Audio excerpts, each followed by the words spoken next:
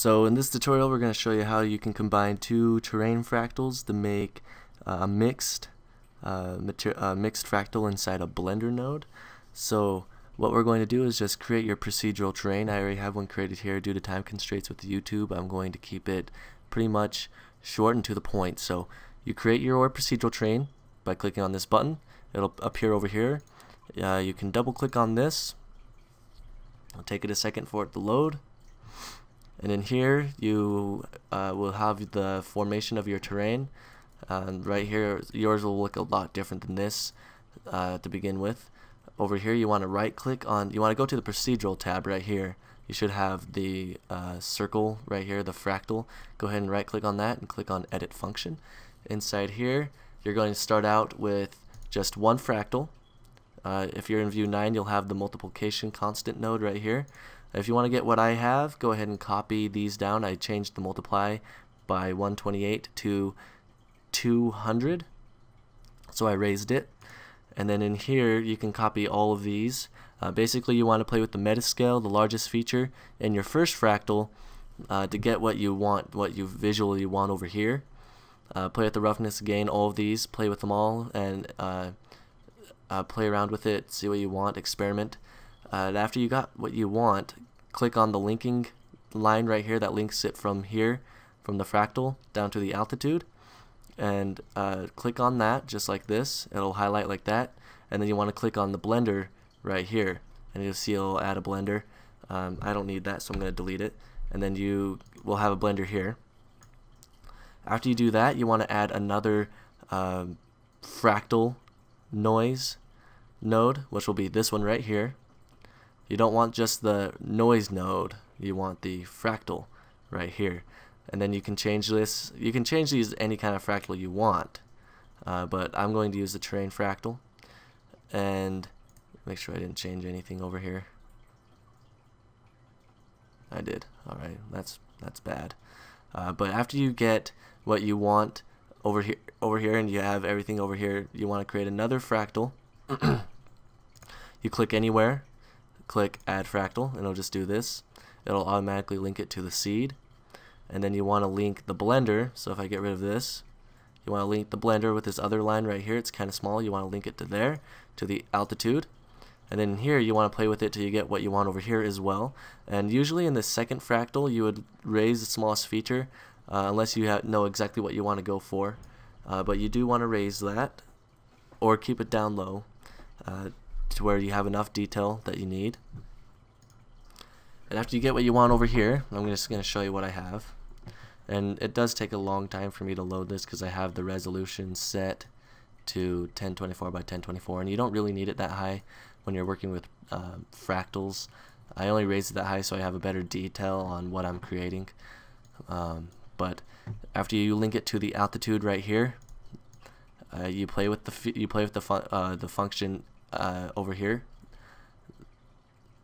And then you can do whatever you want after that. Like you can go in here and then add a custom dependency and then link it to uh, here to the rough areas.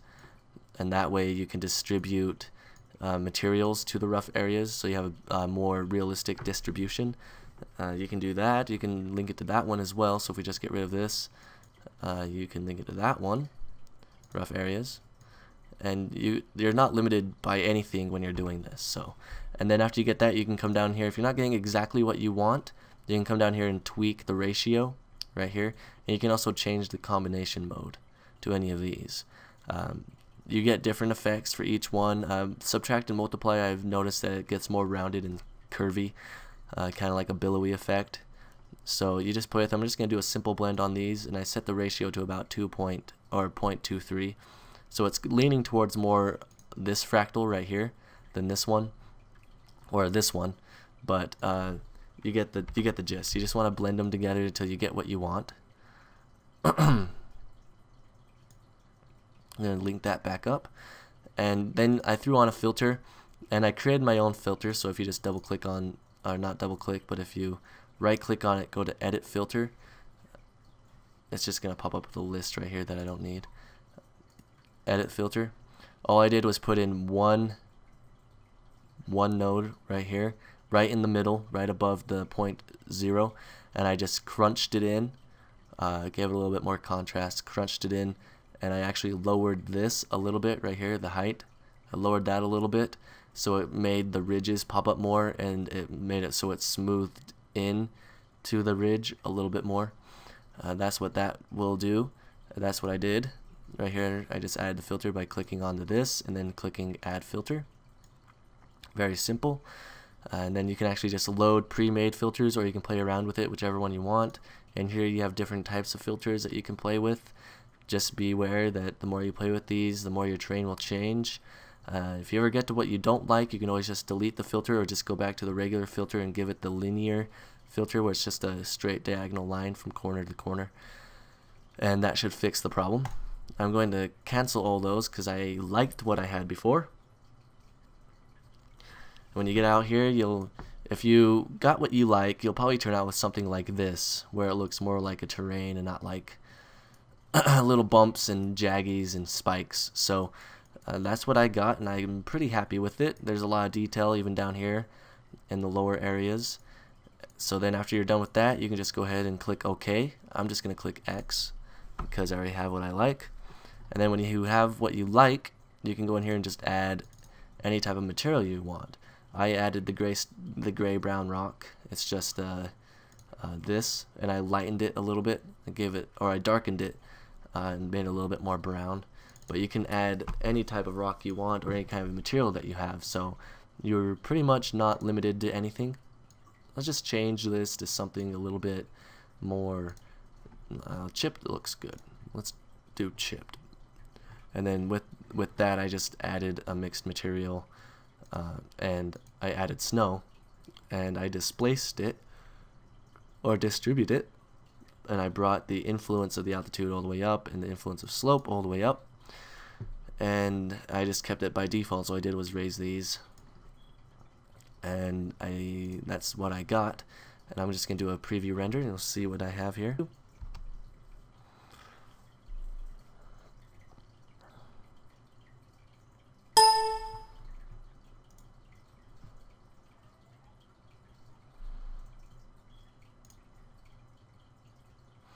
Alright, and that's looking pretty good. Um, I do like the distribution of the materials, and the terrain itself looks pretty good. Uh, I think we're good for a final render. And be aware if your system is running really slow, uh, really old hardware, you don't have very good hardware or anything like that, mixing procedural terrains together can make it really hard on your system and the final renders come out really good and you get really cool uh, terrain types but it does take a little bit longer to render everything out. So let's just make sure I have everything here okay? And then just render it. And this always pops up but um, I just want to say yes because I like the lens glare effect. I think it's really cool. Alright yeah and I like the way that turned out. It looks really rocky. It looks really good. I like the displacement of the I always say displacement, but distribution of the material. The atmosphere could be worked on a little bit, maybe add some really nice clouds, bring up the uh, the quality a little bit. So these, I actually have some uh, sun rays or the shadows from the mountains right here hit from the sun for coming this way. It's leaving some shadow right here in the air, and it's really grainy. But overall, that does look pretty good and decent. So um, if you play with it a little bit more, this took me about 30 minutes to make. It wasn't very hard. It was pretty simple. The longest time is just figuring out what you want and what you're going for.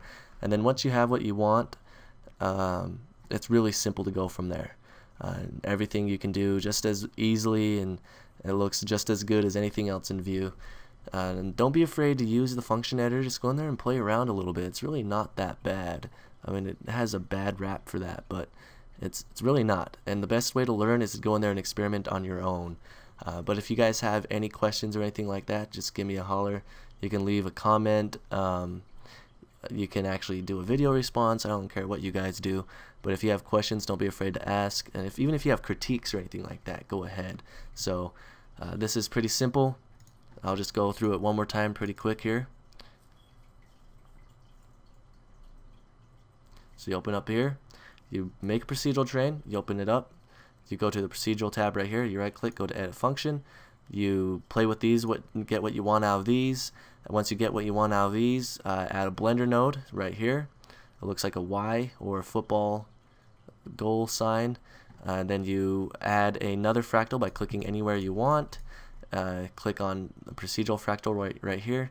Uh, you want, want to add another math node by clicking on this line that connects it from the seed and adding another math node, which is just this one with the x square next to it, or x2 for those who don't know what the square sign is.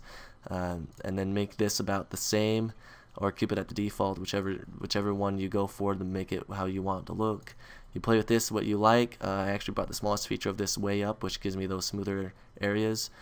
Add a filter if you want to get a little bit more effect or better control over your environment. Uh, play with the blending and the mixing proportions here to get what you want. Uh, click OK. Raise the resolution. Sometimes it's it's a good practice to raise the resolution to what to what where you can actually handle your machine your machine can handle to make it look good uh, to see what it looks like in here you can actually lower it when you go out you can lower it down to the 256 when you're done I just keep it there because my system can handle it so uh, but after you get what you want you go ahead and close this by clicking OK on both windows OK and then OK uh, and then you come out here and you just do what you want with it do what you usually would do and it's that simple Alright, thank you for watching. Rate, comment, subscribe, whatever you want to do. Thank you and have a nice day.